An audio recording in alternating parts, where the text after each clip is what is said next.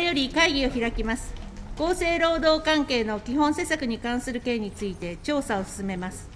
この際お諮りいたします。本件調査のため、本日参考人として、独立行政法人地域医療機能推進機構理事長、尾身茂君の出席を求め、意見を聴取し、また政府参考人として、内閣官房内閣審議官、時沢正君、内閣参事官、川上恭一郎君、成長戦略会議事務局次長、松浦克美君、警察庁長官、官房審議官、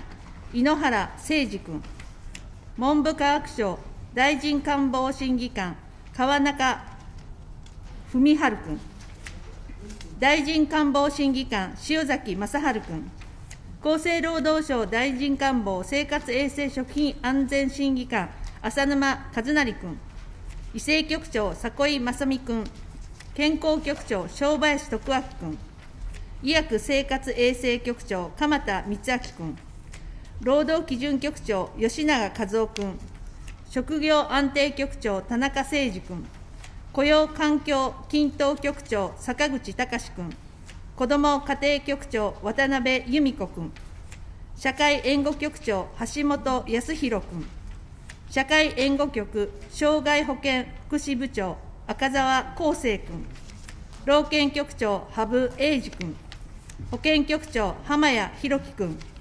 人材開発統括官、小林洋二君、中小企業庁事業環境部長、飯田健太君の出席を求め、説明を聴取したいと存じますが、ご異議ありませんか？なし。ご異議なしと認めます。よってそのように決しました。質疑の申し出がございますので、順次これを許します。長尾隆君。